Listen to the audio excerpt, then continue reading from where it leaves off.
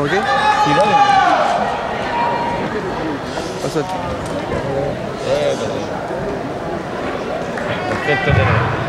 Wrestling for the bronze medal on mat A at 75 kilos, Jaramit Leonor Weffer Guanipa from Venezuela. In the blue singlet, Aline Ferreira from Brazil. En el colchón A, en la categoría de 75 kilogramos de Venezuela, Yara Leonor Weber Guanipa. Y de Brasil, Alain Ferreira.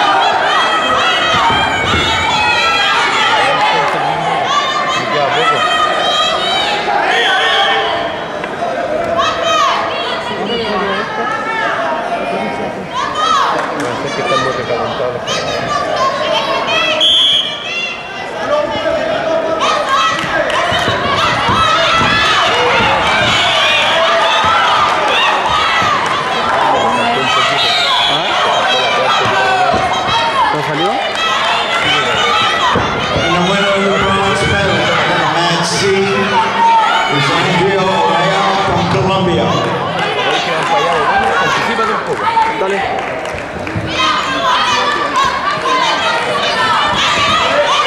Ganadora en el colchón C, Andrea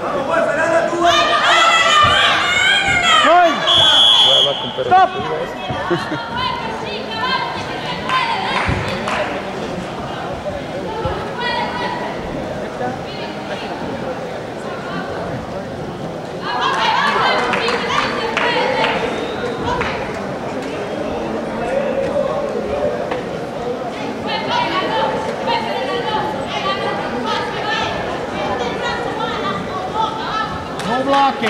No blocking.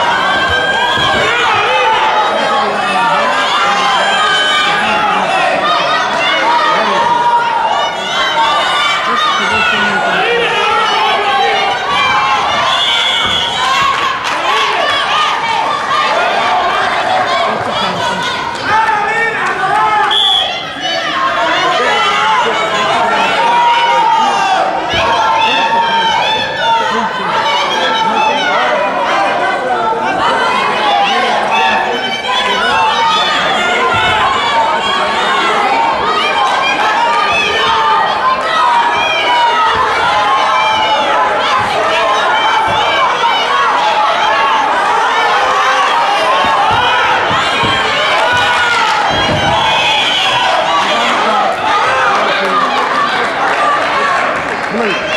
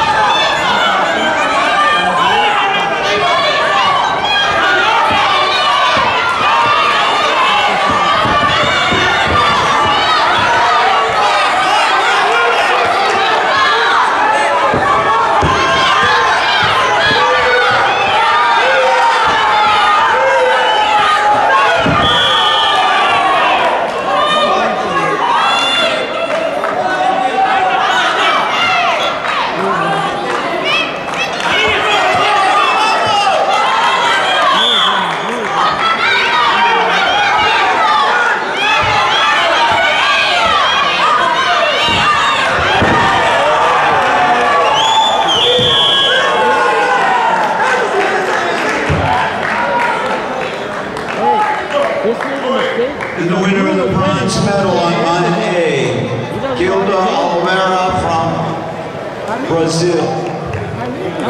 De este combate, Aline Ferreira de Brasil. Listo.